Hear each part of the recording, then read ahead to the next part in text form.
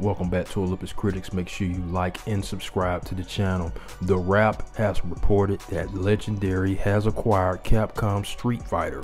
Yes, they have acquired Street Fighter, and they're going to. It's, it's, they're saying there could be a live action movie coming as well.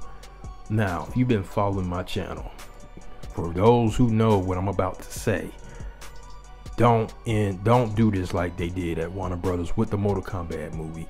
And that's do not hire a first time director and a first time writer. That was the biggest mistake. That was red flags. Ed Boon himself, the creator, one of the creators of the Mortal Kombat game, he never acknowledged this movie. Never.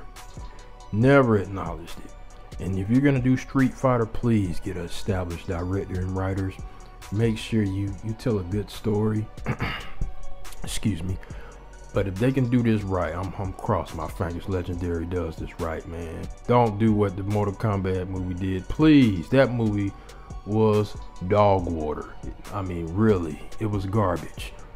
If they can do this right man you can get a cinematic universe. You got characters like ryu ken Guile bison. I mean you can even do akuma who's a fan favorite man, please, I hope, I'm hoping they get a right team, a good team surrounding this movie. Please, please, man. I've, I'm just, I'm begging Legendary to pay attention to what they did with that Mortal Kombat movie.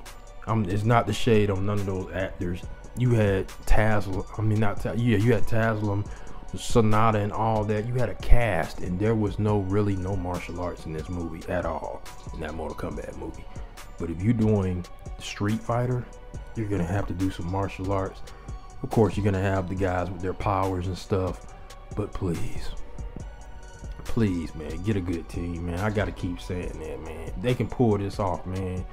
We can probably get some other movies, like maybe another, maybe they'll give a shot at a Tekken movie, not that one that we got where Dragunov looked like Michael Jackson. No, but an actually good, a good video game adaptation to live action movie. Last of Us opened the floodgates. Apparently, I mean, we we gonna see, man. I hope so. But post comments. Let me know what you guys think.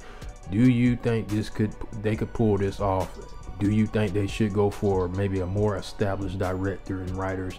Post comments. Make sure you subscribe to the channel.